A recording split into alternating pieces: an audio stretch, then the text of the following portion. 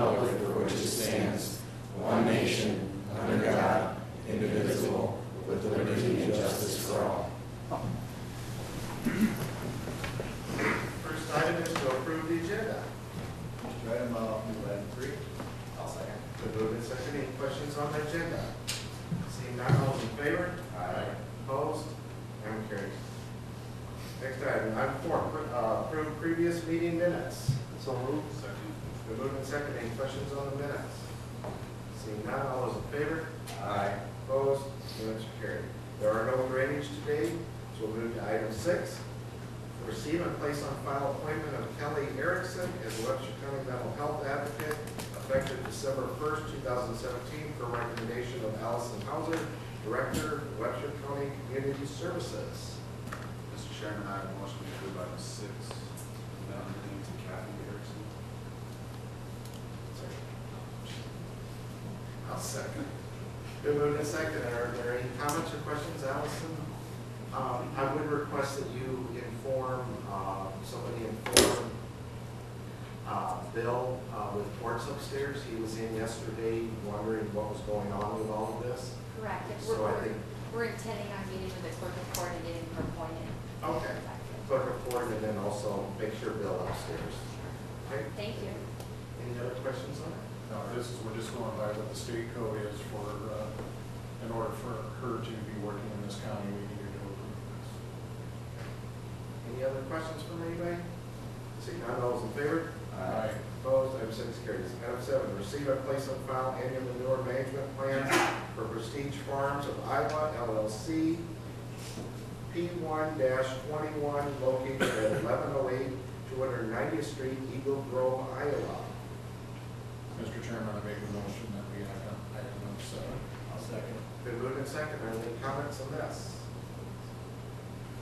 No comments? All those in favor? Aye. Opposed, item seven carries. Item eight, receive and place and file annual manure management plans for MLT LLC Waseca site located at seventeen ninety-three, two hundred thirtieth Street, Moorland, Iowa. Chairman, I'll move item eight. Second, Mr. Chairman. Been moved and seconded. Any questions on this one? Seeing none, all those in favor? Opposed, item eight carries. Item nine, receive and place and file two thousand seventeen weed commissioners reports. Second. Been moved and seconded. How are you? Good, how are you doing? I'm good. Uh, Just to introduce myself, I'm Andy Stanberg, I'm uh, Webster, Webster County uh, roadside manager and also weed commissioner. So uh, every year I put together a uh, weed, weed commissioner's report, kind of the status on uh, weeds and weed complaints in the county. So uh, for 2017, it was actually a very good year for weed complaints, I only had three total. Uh, Two on private land and one on uh, our public roadways. Um, all the complaints, I didn't have to issue any, any kind of notices, I just visited with the landowners.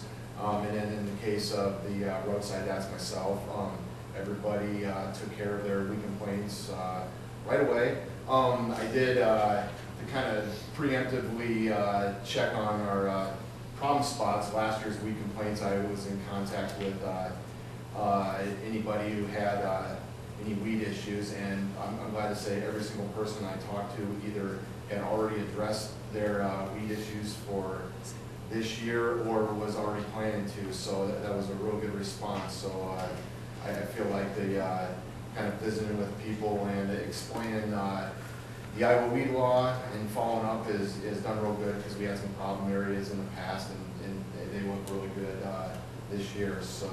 Um, I was just gonna touch on a few things on the weed, weed report this year. Um, the state, uh, has added Palmer amaranth to, uh, the uh, noxious weed list, which is kind of a weed that's been, uh, pretty, uh, in, the- in the media, and it's a weed of new concern. Um, fortunately for, uh, Webster County, um, I haven't seen any Palmer amaranth, I haven't had any reports of Palmer amaranth, so, uh, um, I think we're doing pretty good. I think farmers are, are really paying attention to some of the areas where this could pop up. So we'll monitor it, and we'll see if it shows up in the county and kind of address it from there. But so far, there hasn't been any, any reports.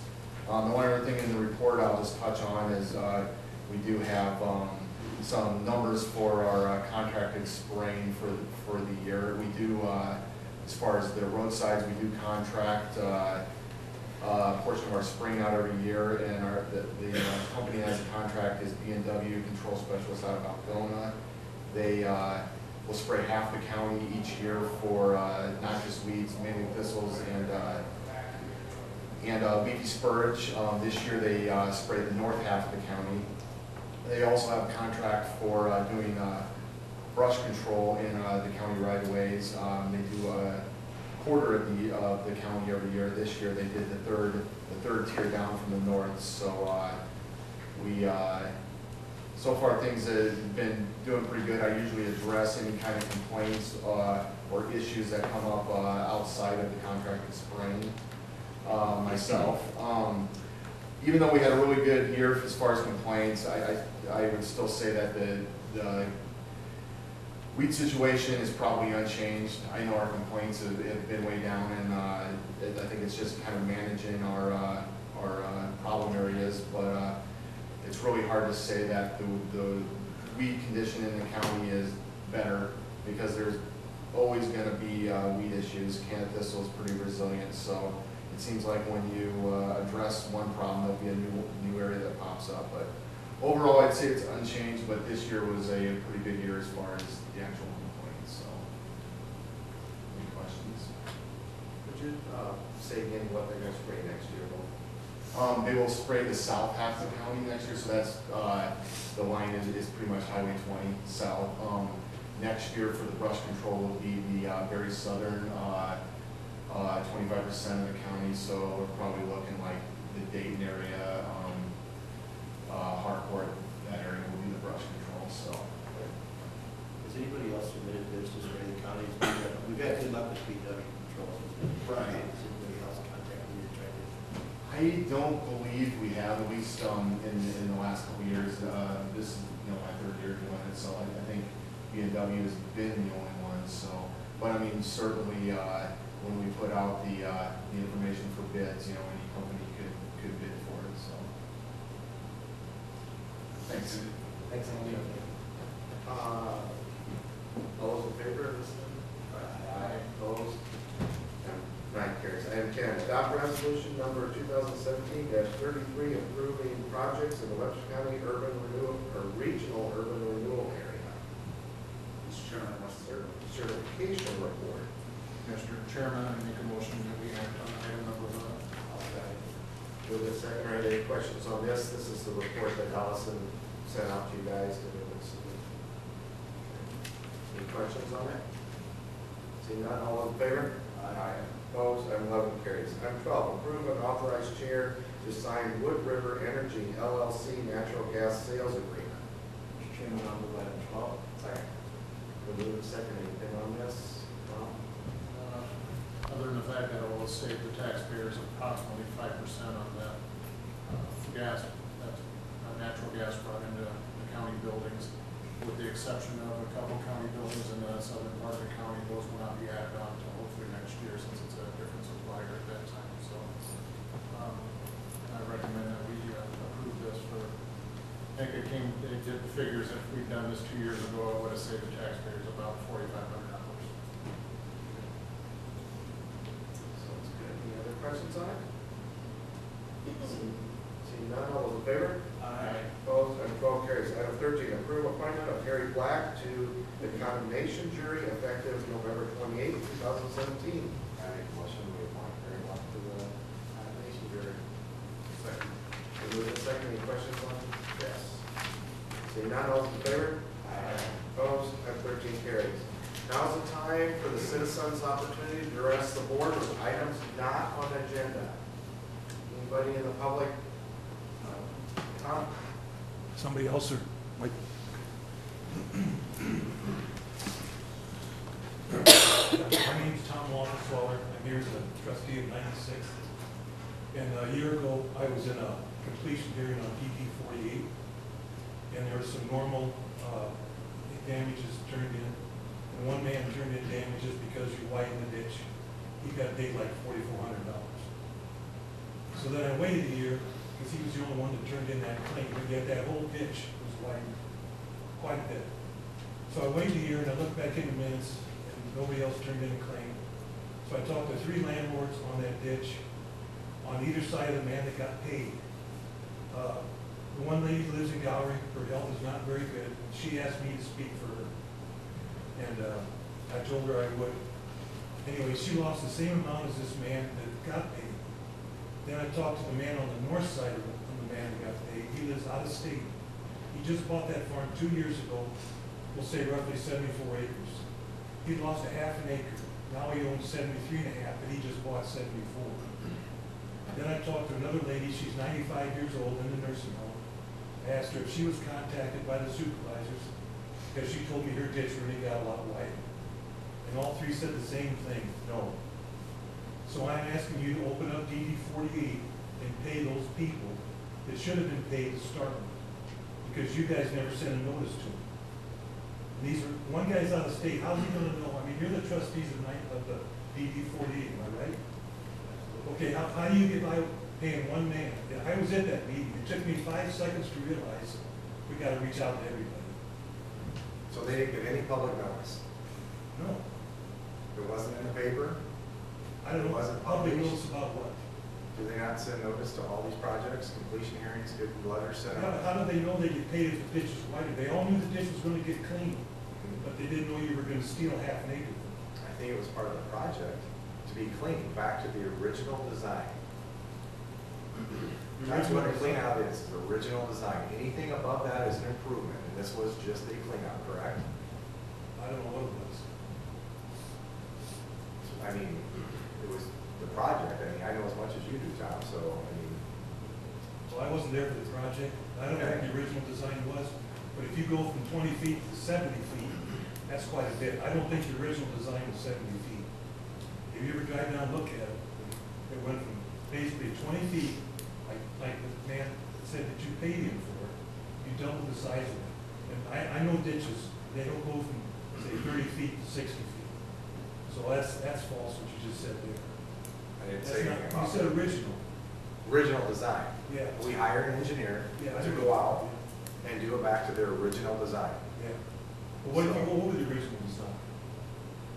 Then the people can. Then the people come in and file. How do they know that? These They- people are they- old. they- But they're notified either through the paper, I don't know without the drainage person here, they may even get a letter.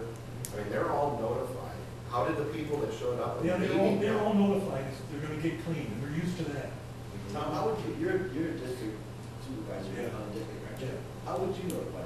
I'd send a letter and I know everybody, I would talk to them. If I knew John Doe got paid and these others aren't, I, they'd hang me from a cottonwood You tree. know, you know every person on that. I do person personally, in that's their right. areas. I've been in that area forty-six years, I know everybody. And how many, and how many districts do you manage?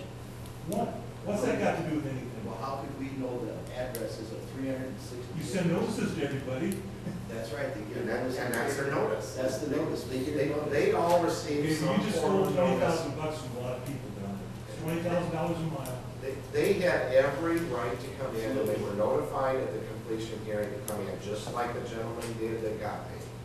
They, Okay. they were all notified of that. One of the, one of the man that, that you that you didn't pay, he lives out of state, he knew it was gonna be cleaned, he got a notice, and he got a bill after it was cleaned. His name's Bob Paxton, he used to be the college president, he knows you guys. Yeah, I talked to him. Okay. And he said you're either gonna open it up and pay him, or he's gonna get a lawyer. Go ahead. Yes, that's his I- prerogative. It's not what he told me, so that's fine. And, and, and, and I'm, I'm gonna stop this because honestly, you're speaking for other people and, and you can't do that. So, Yes, I can. well, it's not worth anything. Yeah. Uh, If they wanna come in and talk to us, if Mr. Paxton wants to come in, or if he wants to have an attorney talk to us, that's fine. Well, I think your policy stinks if you don't, if you do that without paying people. That's all I got to say. Thank you, Tom. Anybody else from the public with anything? Is this where I do that? Yes. Come up and state your name. It has to be on record, sorry, Janice. Okay.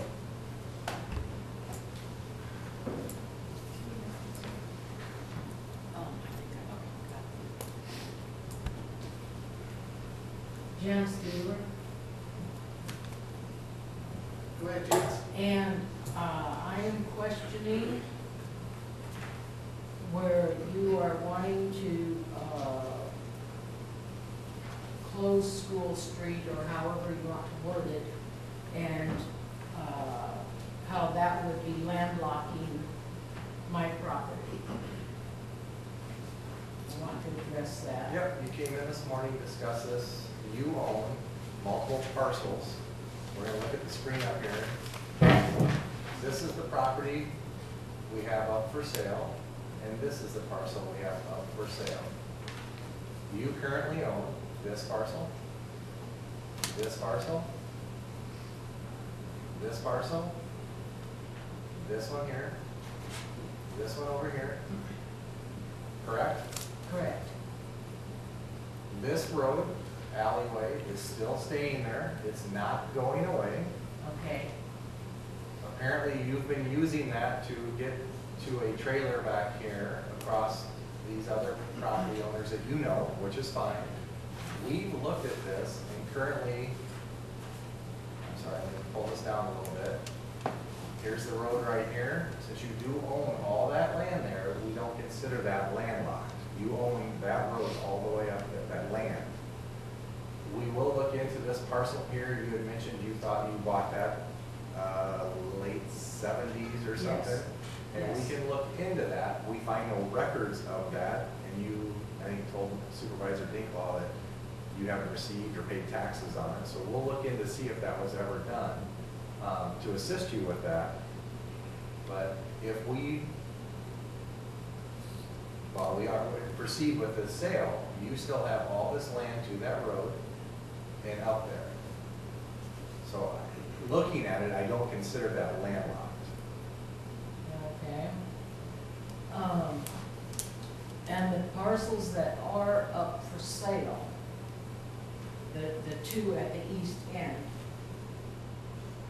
uh, those will be sold then? They're up for sale. You can bid on them, absolutely. For, for clarification, there's only two parcels here. This one, There's the, there's the fairly large parcel there where the house is, and then that whole parcel is one parcel. So both of those will be sold. And I believe, talking to the county attorney, uh, and the road, uh, and Randy with roads, I believe it's our opinion that the underlying owner of that parcel is the county. It was vacated in seventy-seven, like we talked. But the vacation does not mean that it changes the underlying owner of the property. And so when we vacate, it just means we're not gonna use it as a road any longer, but the county still is in a position that we own that property.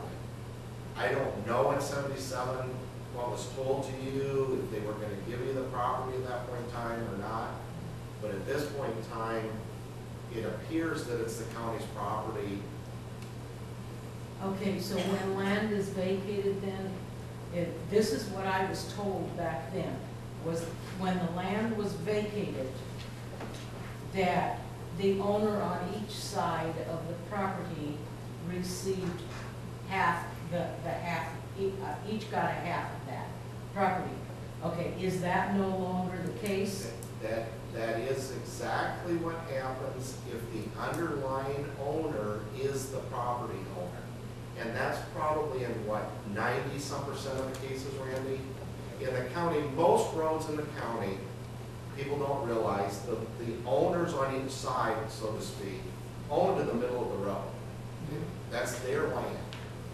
At some point, it's been given an easement for the road to be on that. So if you vacate that road, and we've done this several times lately, if you vacate that road, then it does automatically revert back to those adjoining landowners, exactly like you said. And that's the case in most of the cases. But there are a few where the county actually bought or somehow became in possession as the owner of that property. And therefore, if you vacate that, it does not revert to the landowners, it's just still county property. So, so in this case, that's what I'm saying is, all our information is pointing to that that's county-owned property. If it would have been your property and it was just an easement, in seventy-seven, it would have been your property. Okay, and when did the county then own that property? Before or after it was vacated? Before. It was before that. Okay. So, when they told me that it would go to me because of that, were they in error then? I can't speak for whoever was telling you that in seventy-seven, I don't know their intent. They could have had intent to give you the land, I, I just don't know, but apparently it never happened. Okay, so at this point, if I wanted, I have to buy it. Correct. Okay, and the, the one to the west of that, that will be up for sale also then? At the same time, there'll be two parcels, and, and you've seen the map where, where the one has some hash marks on it? Yes, That hash mark means nothing. That's not two parcels there. That's one whole parcel. That's where- one where- parcel. Where all of that parcel in the, in the green line will be one parcel sold off. Then the parcel with the, with the house on it will be another parcel sold off. So if you want to try and purchase the one that you've been talking about, you'll actually be trying to purchase that whole land, not just the hash mark part. okay, okay. But the second parcel then will be west of these two, then, that's a separate parcel? Correct. Okay. So what I have to do then is to buy these, the hash mark and the one next to it. Yeah, but it's actually gonna be one. That's, you're thinking of that as two parcels, and it's actually only one. Okay, okay. And when and how then do I begin this? I don't remember the dates. Does anybody remember the dates? No, we can get it to you after the meeting. We've set the dates. It's in a week or two that we're, what, next, next Tuesday? We'll, we'll verify this information, but by next Tuesday, you have to give us a sealed bid on the property by nine o'clock in the morning. But we'll verify that, but that's how it works. You'll, you'll write out on a piece of paper what you're willing to pay for the property and specify which property you're buying. And then put it in a sealed envelope and give it to the auditor's office. Somebody else might give us a bid on the same property. You might not be the only one bidding, Yes, so you gotta understand that you might put a bid on it and still not get it. Yes, I Just so you understand that. Yes. Okay, and, um, but there was also some kind of a, a comment about, um, the purpose that you wanted to use the property for, or something like that? That that may affect who actually wins the bid? We can choose whoever we wish to win the bid. It's not just based on monetary value. Uh, it, we can also take other things into consideration. Um, Best use, what it's being used for, that kind of thing. So you are correct. I mean, it, we will predominantly look at dollar figures probably, but we don't have to take the highest bid.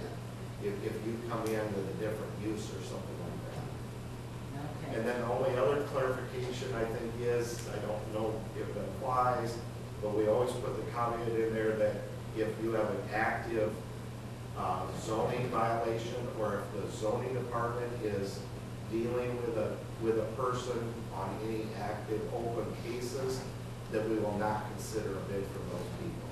Is that correct, Rand? Yeah. you- you I don't know that that applies in this, but we've done that on the sheds and You everything. have to be in good standing with planning and zoning, Oh, okay. So uh, Janice, afterwards, we'll clarify the times and all that stuff with you. We can Okay. take you over to the auditor's office and check everything for you. Okay, all right. Thank you. Thanks. Anything else? I don't Um, want to cut you off. uh, just out of curiosity, has this been surveyed? It has not been surveyed. We will be giving a quick claim deed from the county on what we are calling that parcel of land. It's, it, it has not been surveyed. Okay, so basically what you're going on then are surveys of hundred years ago or whatever. We're going by what the plat maps show us as of today. Okay, all right, thank you. Yep. Thanks, Jess. Is there anybody else from the public with any comments at all? Seeing none, board of supervisor reports?